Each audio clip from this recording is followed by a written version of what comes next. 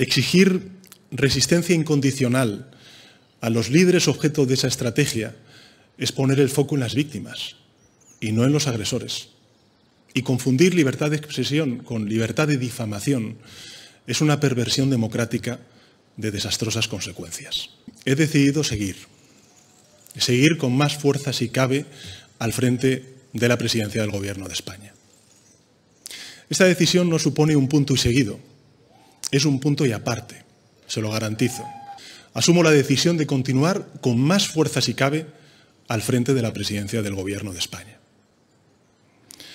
Solo hay una manera de revertir esta situación, que la mayoría social, como ha hecho estos cinco días, se movilice en una apuesta decidida por la dignidad y el sentido común, poniendo freno a la política de la vergüenza que llevamos demasiado tiempo sufriendo. ¿Qué tipo de sociedad queremos ser? Una reflexión colectiva que abra paso a la limpieza. Llevamos demasiado tiempo dejando que el fango colonice impunemente la vida política, la vida pública, contaminándonos de prácticas tóxicas inimaginables hace apenas unos años. Porque los males que nos aquejan no son ni mucho menos exclusivos de España. Forman parte de un movimiento reaccionario mundial que aspira a imponer su agenda regresiva mediante la difamación y la falsedad, el odio y la apelación a miedos y amenazas que no se corresponden ni con la ciencia ni con la racionalidad. Mostremos al mundo cómo se defiende a la democracia. Pongamos fin a este fango. Bien, este ha sido el discurso de Pedro Sánchez. Te lo voy a dejar al final, no te lo pongo al principio para ahorrártelo si ya lo has leído y quedarte directamente con la parte más importante de, em, del análisis, ¿no? Em, un discurso en su línea, la verdad que eso tiene una lectura que en parte es positiva y es el hecho de que España todavía tiene una soberanía propia, que parece ser que todas esas especulaciones de estar sufriendo presiones externas eh, de poderosos no se han disipado. Eh, ha decidido permanecer, entonces esto ya elimina la posibilidad de una injerencia externa en la soberanía de España. Esa es la parte buena. Lo que es la parte mala es em, cómo se ha invertido el relato a partir de hoy, puesto que em, ha hablado básicamente de bulos deliberados, libertad de difamación, no es un punto a seguir, es un punto y aparte. La mayoría social debe movilizarse, hay que hacer limpieza, la limpieza tiene que abrir paso, mejor dicho, dijo, hay que abrir paso a la limpieza. Limpieza con respecto a ese movimiento reaccionario que es mundial, ha hablado dos veces del fango y que es necesario un rechazo colectivo.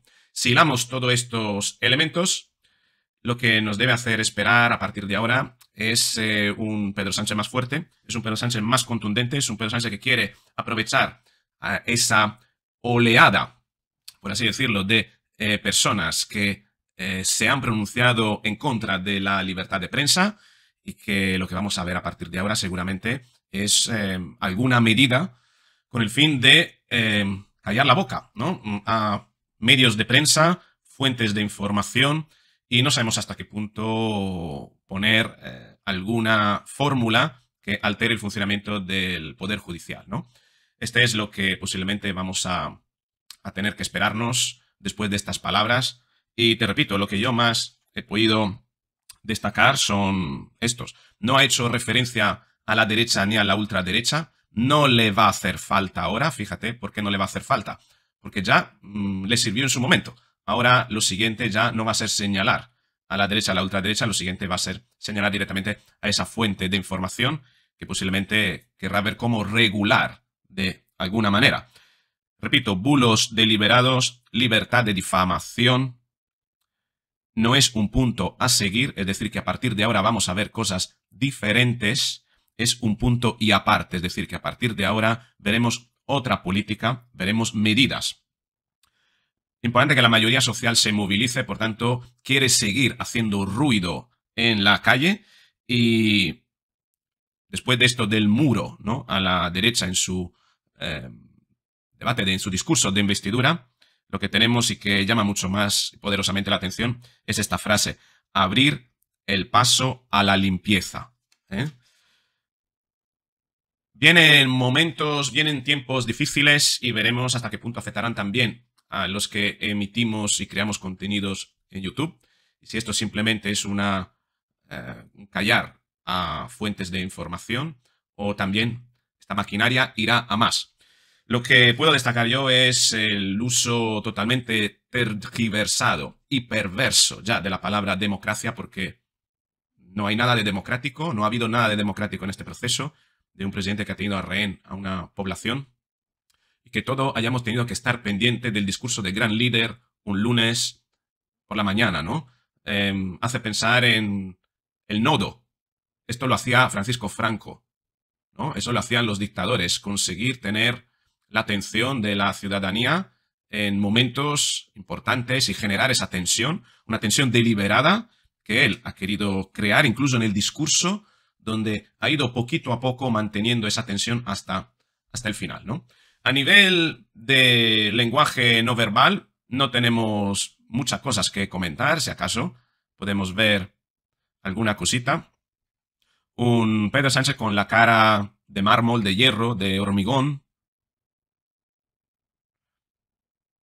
Como ves, muy impostado, con muy poquitos movimientos en las manos. Quizás es, son las manos donde podemos ver más cosas.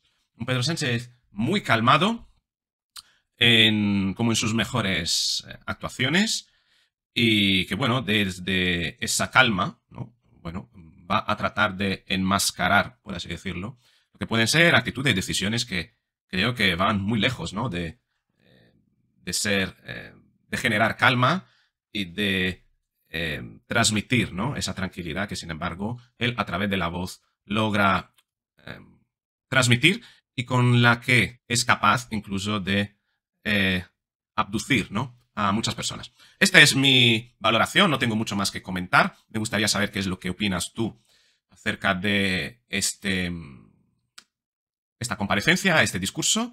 Y bueno, te dejo ahora todo el discurso completo por si lo quieres, lo quieres ver. Em, dale a like al vídeo, compártelo, suscríbete, activa la campanita y bueno, de momento vamos a seguir en este canal pendiente de qué es lo que puede ocurrir y de cómo a lo mejor tendremos que ajustar incluso nuestro estilo de comunicar de acuerdo con las decisiones que van a venir. Veremos. Un beso.